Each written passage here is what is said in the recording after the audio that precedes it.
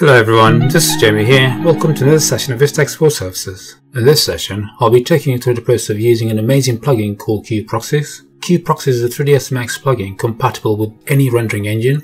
Like most proxies, it reduces the polygon count in a scene and helps speed up renders substantially. What sets this proxy plugin apart from others is the ability to bring back the original mesh with textures and modifiers previously applied from any rendering engine.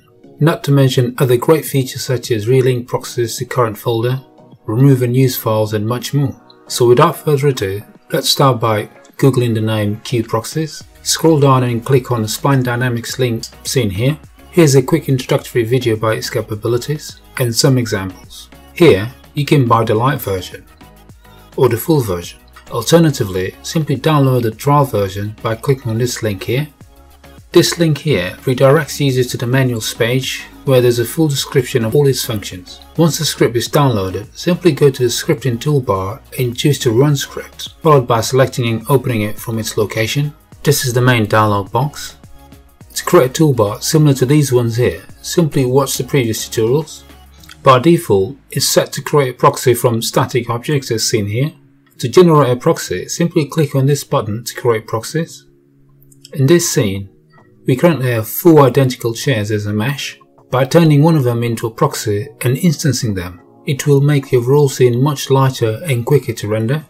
As mentioned earlier, here we have the option to convert the proxies from static objects, animated PRS. PRS stands for position, rotation and static. Here we have the option for animated with deformations, all geometry, this section allows users to automatically select multiple objects in a scene by the minimum and maximum number of faces of each selected object. By enabling the use size filters, you can also select objects in a scene by their minimum and maximum dimensions. When creating proxies, the default option is to create from selected objects in a scene only. You can change it to all geometry to create proxies from all the geometry in a scene. This function includes all instance objects. This function ignores hidden objects.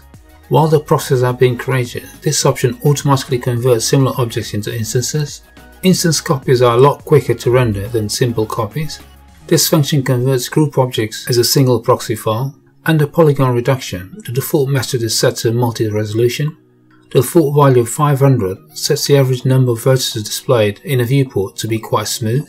To optimize the resolution display in a viewport, let's change it to 300 instead. Users can choose to optimize the resolution display in a viewport as multi-res or Pro Optimizer. And the mesh type, users can choose from source or any of the listed types in here. Again, these are for display purposes in a viewport only. If you had to choose a custom mesh type, then you would have had to pick an existing proxy mesh in a scene to be displayed as a mesh type. The Save Objects function allows users to choose how the proxies will be generated. It's set to save objects altogether by default. However, users can choose to save by group, by layer or individual. In the Manage Tools bar, under reference files, you can set the location where the proxy file should be saved into.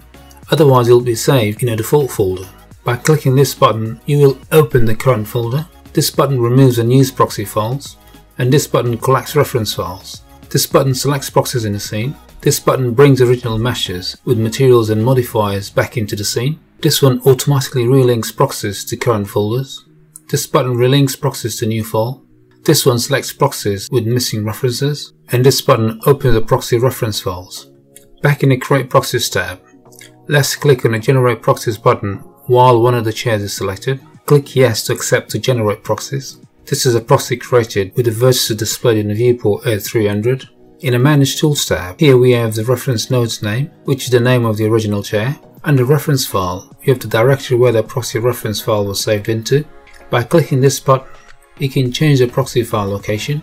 The xReference mode function is currently referencing the original materials from its location saved, no longer from this open scene. To show you an example, let's open the material editor and isolate the proxy chair and click render.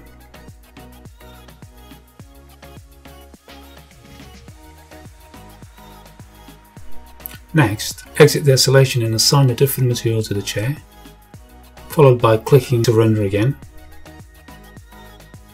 As you can see, even though a new material was assigned to the chair, the original materials were rendered because the X-reference mode function is still enabled. Let's disable the X-reference mode function and render it again.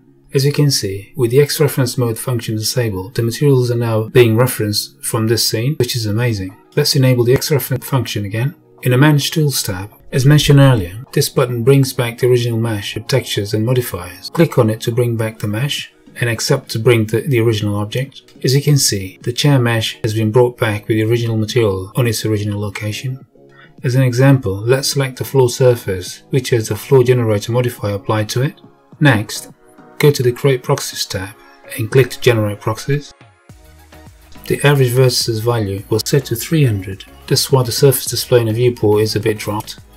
To bring the original mesh with the material and modifier applied, simply click on this button, as previously done.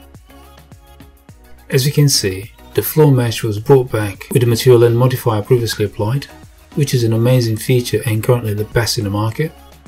Next, select the chair. As previously done, go to the Create Proxies tab. Increase the average vertices to 500 and create proxy. I select the chair and deselect the Use Proxies Render button. Click to render again. As you can see, by deselecting the Use Proxies and Render button, the polygon reduction has been used in the viewport. Select the Use Proxies Render button again and click to render.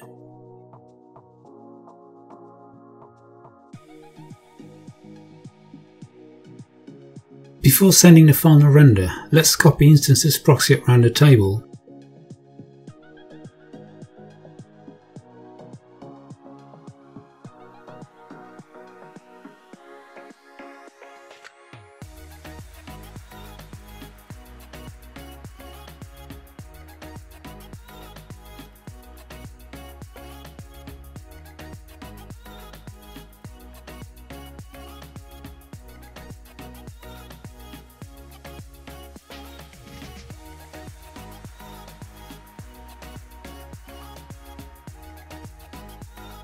and delete the original mesh chairs. As a final example, to see how the minimum and maximum number of faces work, let's start by creating four spheres as separate copies.